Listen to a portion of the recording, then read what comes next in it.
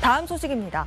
우리가 전통적으로 설을 새해로 여기듯이 이란의 새해는 요즘처럼 봄이 시작되는 3월 춘분이라고 합니다. 새해를 축하하려고 전국에서 불꽃 축제를 연다는데 이 축제 기간에 사상자가 속출했습니다.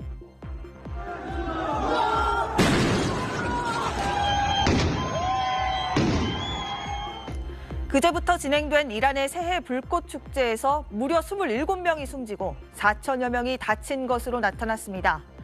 부상자 가운데 1,000명 이상이 눈에 폭약 파편을 맞아서 크게 다쳤고 800여 명은 화상을 입은 것으로 조사됐습니다. 200여 명은 팔다리 절단 수술을 받을 정도로 부상이 심각했습니다.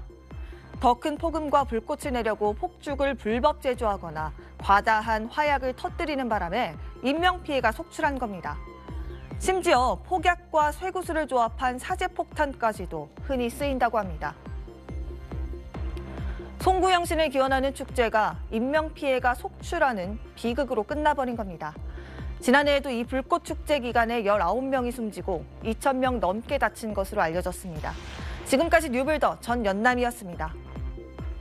안녕하십니까 주영진입니다. 더 많은 뉴스와 라이브 이벤트를 보고 싶으시다면 화면 오른쪽을 눌러서 구독해 주시기 바랍니다. 저희 SBS 앱을 다운로드 받으시면 뉴스 속보 알림도 받아 보실 수 있습니다. 텔레비전으로도 SBS 뉴스, 유튜브로도 SBS 뉴스 잊지 마시기 바랍니다.